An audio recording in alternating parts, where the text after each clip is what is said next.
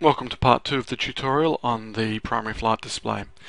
Let's have a look at some more advanced features uh, of the mode control panel now which relates to the primary flight display. Over here on the left we can see that the speed is set to 199 knots and up here on the indicated airspeed window it's also set to 199 knots. Now the maximum speed we can fly below 10,000 feet is 250 knots. That's to make it easy for the air traffic controllers to control the flow of traffic. Let's set the airplane to fly at say 280 knots. So go ahead and change the control here up on the mode control panel. Holding down shift and using the mouse wheel we can move in increments of 10 and we've set the bug for 280 we can see that this speed here is set for 280 down below the ground speed is indicating 257 and the indicated airspeed is roughly 247 knots.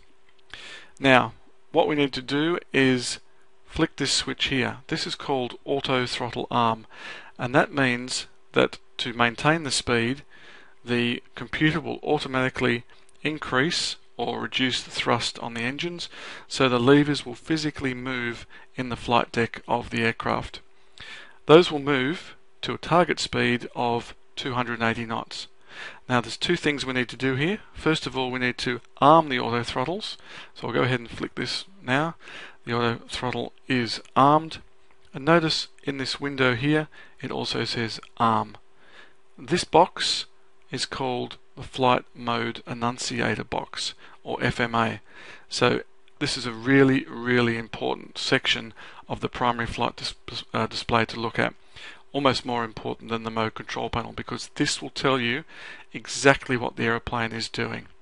Now at the moment it says arm. We haven't commanded the speed of 280 knots yet. We are about to. To do that, we press this speed button here. Now you'll notice that the diagram on the mode control panel goes from this button up to the top right and then straight up. So this is a link to the speed. So when we press this button, the aeroplane will advance the throttles and accelerate to a speed of 280 knots. Something else that's really important to note is that the arm will disappear. We'll get a green indicator here which will say MCP speed mode control panel speed. That means the aeroplane will fly at the speed set on the mode control panel. So let's go ahead and uh, click speed. A box around the annunciator, that means it's become active and this will disappear in 10 seconds. Have a look here next to these uh, numbers increasing. There's a little green arrow and this arrow is a speed trend indicator. This tells us what our speed will be in 10 seconds time. So we're doing 260 knots. In 10 seconds time we'll be doing 270 knots. So you can see that the speed of the aeroplane is in fact increasing. Now because we've increased the speed of the aeroplane, uh, more air is rushing over the wings, generating more lift. So you can see that the aeroplane is actually starting to climb. The uh, artificial horizon is also in indicating a pitch up as well. Bottom left here below the speed tape, the ground speed has now been replaced with a Mach speed. A Mach speed is the speed of the aeroplane flying through the air with relation to the speed of sound.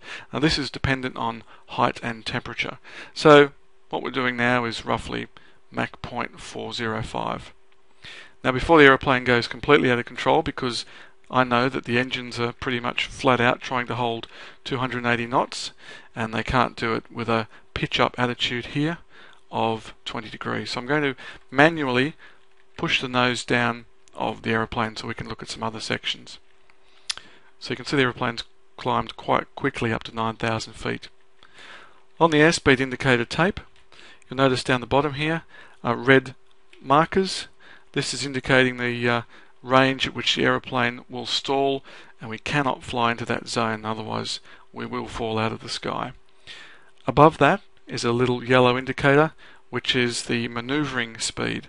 So we can fly anywhere in this band here uh, with the knowledge that we'll be flying within the limitations of the airframe.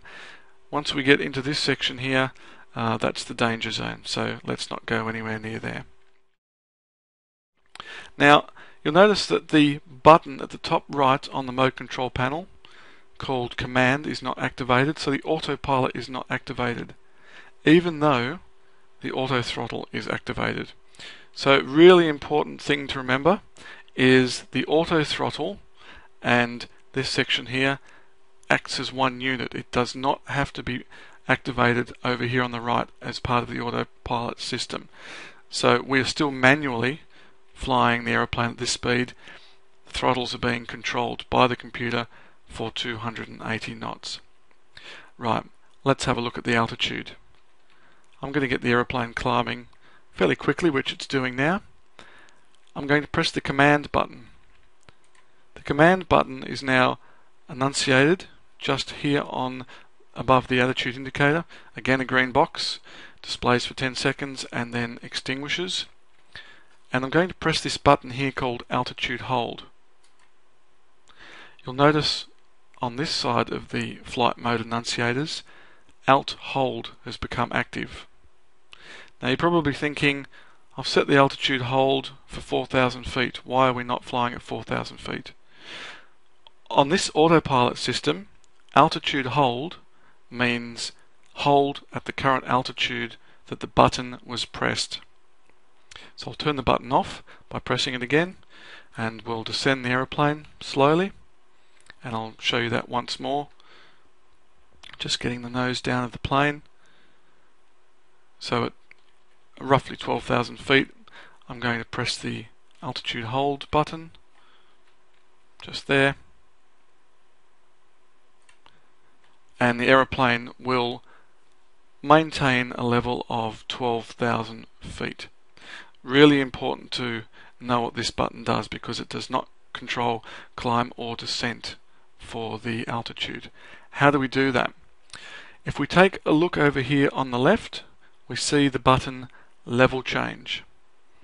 This is the button that will control descent or climb of the aircraft.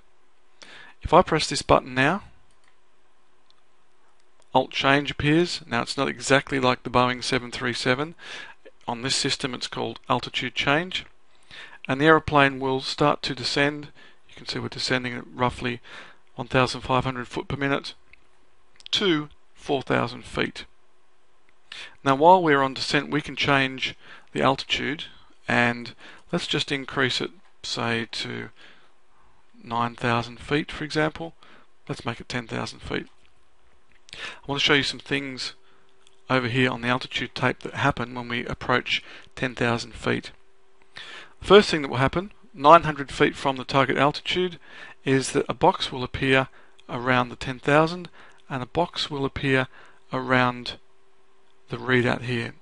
You'll notice that the box here is now solid white and the box here is also solid white. That means that we are approaching 10,000 feet. So let's go ahead and let the aeroplane get close to that uh, commanded altitude. Here's the speed bug set at 10,000 feet and when we get uh, to roughly 200 feet of the speed bug the altitude acquired annunciator appears and the aeroplane will level off at 10,000 feet. Altitude hold is annunciated again Notice that above here, level change has been extinguished and Alt Hold has now become active. Let's say we want to climb up 100 feet. Okay, we set 100 feet, we press level change. Nothing happens. We need to be at least 300 feet either side of the bug for the aeroplane to climb. So if you're wondering why you can't climb in increments of 1 or 200 feet, uh, it's, it's because of the way the mode control panel is designed to operate. Let's have a look at something else here. I'm going to slew the aeroplane and increase the altitude. Now I have altitude hold enabled. Now notice that the speed bug has been set for 10,000 feet. Uh, correction, that should be 10,300 feet and we're getting a warning indicator here and up here that's telling us the aeroplane has deviated from the commanded altitude. So whenever you see something like this, that means the aeroplane is out of tolerance for that particular altitude. So I'll go ahead and take slew off the aeroplane now and the altitude should come back to 10,300 and this will stop flashing when we get within about 200 feet of the assigned altitude. Okay, let's have a look at roll now on the aeroplane. We'll let the aeroplane settle down to 10,300 feet. Uh, at the moment, the engine's being controlled by the auto throttle up here on the top left. The altitude is being controlled up here on the mode control panel. The heading is set up here on the mode control panel of 53 degrees and I'll just increase it to 60 degrees. This one's fairly simple.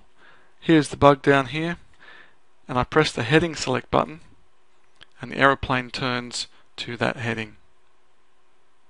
You can see in this middle box on the flight mode annunciators heading select has become active. Now all of these boxes are now filled in, these three boxes separated by these white lines. I'm going to tell you what these are, they're really important to understand. The first one tells me that the aeroplane is in MCP speed mode. That means this box relates to thrust of the aircraft. Second box, the middle box, indicates the roll mode of the aeroplane. The roll mode is based on the heading select. If we were intercepting a VOR or if we were intercepting a localizer, then this would annunciate the roll mode to track a localizer or uh. On the right here we have the pitch mode. Now this is telling us that we are in altitude hold. Now if I deselect the altitude from 10,300 to 9,000 and I select level change, you'll notice it says alt change here. So this is the pitch mode. This is controlling the pitch of the aeroplane to descend. Let's have a look at the descent rate. We're descending now at roughly 1,700 feet per minute. I'm going to decrease the altitude down to say 4,000 feet. Here we can change the vertical speed. If I select vertical speed, it will lock in the current speed at which the aeroplane is descending or if it's climbing it will lock in the current speed it is climbing. Have a look here on the vertical speed indicator. There are two magenta bars. That is the speed selected on the mode control panel. So if I now go ahead and alter the speed here, you can see that the magenta bug is increasing. So the aeroplane is now climbing at 1000 feet per minute. So it's not actually going to hit this target of 4000. So let's set a new target just for this uh, example 8,000 feet and I could do two things to get the plane to fly to 8,000 feet. I could hit level change which will take the aeroplane down at a predetermined uh, descent rate or I can hit vertical speed and select my own descent rate. So let's go ahead and descent, select this descent rate of 2,500 feet per minute so these boxes illuminate once again. Notice that VS is the pitch mode here up on the flight mode annunciator. So vertical speed is the pitch. And when we get to 200 feet of the assigned altitude, this will change to altitude acquired.